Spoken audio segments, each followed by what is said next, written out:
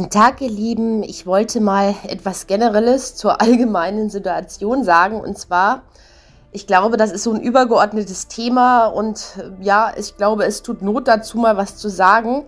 Und zwar spielt es überhaupt keine Rolle, auf was man sich jetzt fixiert hat oder was man jetzt genau ankreidet und was man doof findet und welches Gesetz blöd ist und welche Verordnung doof und wie die mit uns umgehen und bla bla bla ich glaube, man muss das wirklich auch aus einer übergeordneten Perspektive betrachten. Das heißt, ähm, es muss einem einfach, wenn man wirklich, wirklich verstehen will, bewusst sein, dass hier nur ein einziges Recht gilt.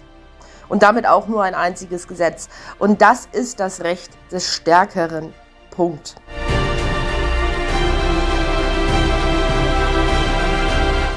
Da spielt es überhaupt gar keine Rolle, was für untergeordnete Gesetze es gibt und wie schön die das auch verkaufen. Oder da gibt es noch dieses Gesetz zum Schutz der Meinungsfreiheit oder dieses oder bla.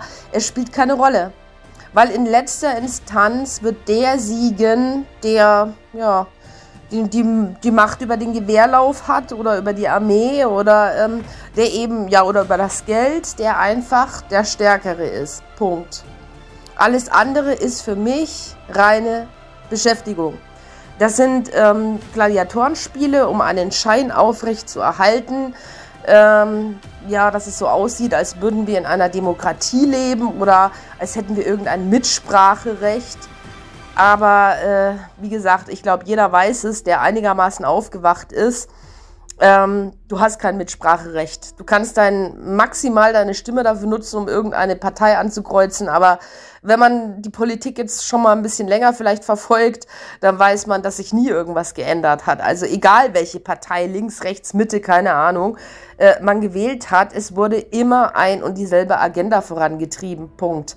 Also auch Demokratie ist eine Farce. Es soll uns das Gefühl vermitteln, äh, also zum ersten, wir hätten gewählt und zum zweiten natürlich uns auch die Verantwortung übertragen.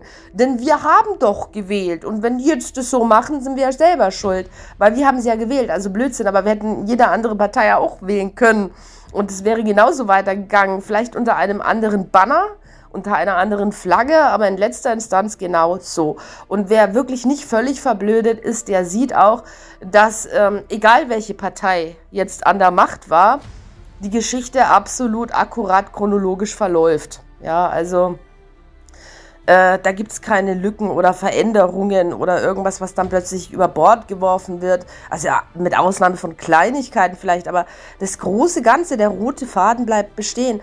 Und ich finde es echt erstaunlich, dass man das heutzutage immer noch nicht bemerkt hat.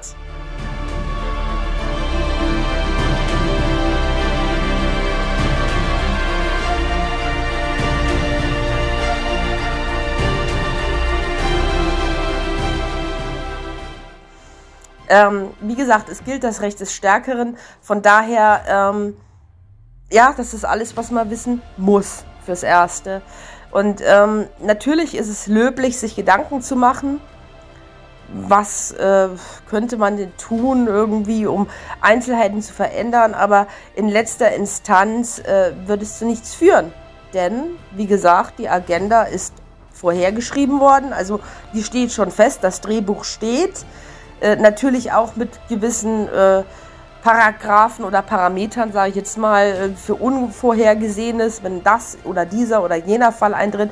Aber sie ist auf jeden Fall so geschrieben, dass sie steht. Punkt. Und da gibt es gar nichts. Und da brauchen wir uns auch nichts vormachen. Ne?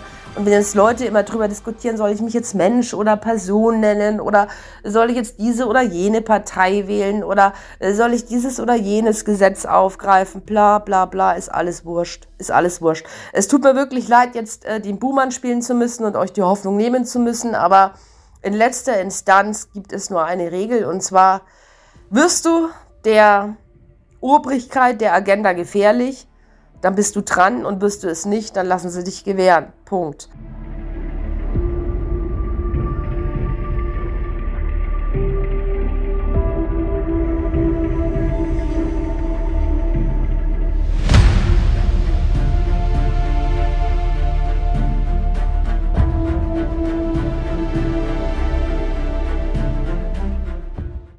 Aber wenn sie dich gewähren lassen, dann ist das auch das absolut sichere Urteil, darüber, dass du nichts bewirkt hast. Punkt.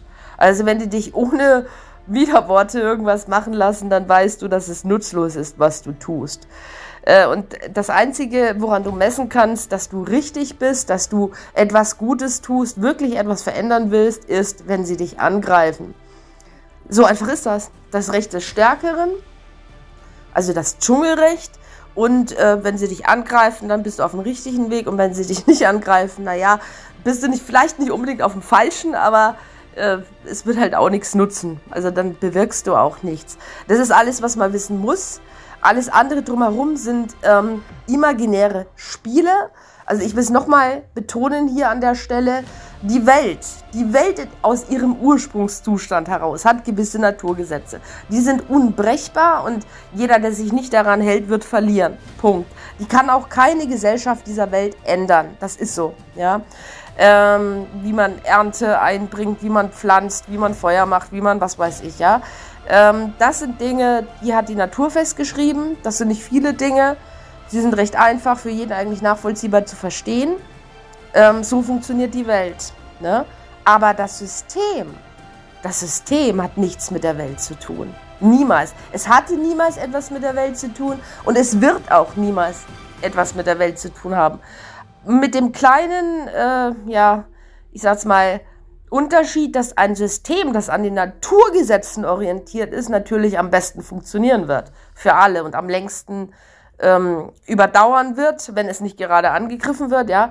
Ähm, das ist das Einzige, was funktioniert. Also wenn man ein System erschafft, das ähm, eben an der, an, die, an der Natur orientiert ist. Ähm, alle anderen Systeme, pff, also wie gesagt, man braucht sich nur in der Geschichte mal so ein bisschen umgucken. Da braucht man gar nicht so fundiertes Wissen, was so alles für Systeme gebracht worden sind, gemacht worden sind. Und die haben das alle nicht überlebt weil sie einfach der Natur widersprochen haben. Und so wird es auch bei unserem System sein. Es wird untergehen. Punkt. Ob äh, gewisse Leute das jetzt begrüßen und verstehen und wollen und wissen oder nicht, aber es wird so sein, weil es gar nicht funktionieren kann. Mm, insofern möchte ich gar nicht die Hoffnung nehmen und wie gesagt, ich finde, man kann auch an kleinen Punkten ansetzen, aber man muss das große Ganze im Auge behalten.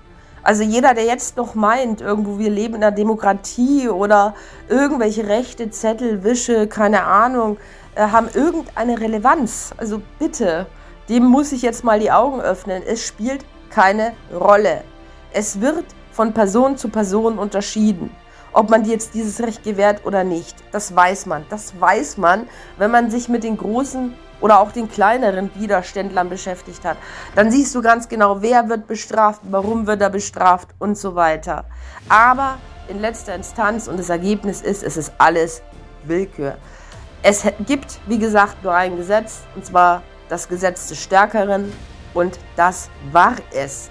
Da können wir Paragraphen auswendig lernen wollen, wie wir möchten. Das ist dann gut, wenn wir Handlanger überzeugen wollen, dass man mal sagt, hey, guck dir das mal an, wie wird denn das umgesetzt, wird es überhaupt umgesetzt, was machst du eigentlich? Dann ist es gut, das will ich also wie gesagt gar nicht in Abrede stellen, aber aus dem Großen und Ganzen betrachtet, alles Nonsens. Genau, das jetzt als ganz kurze Anmerkung von mir.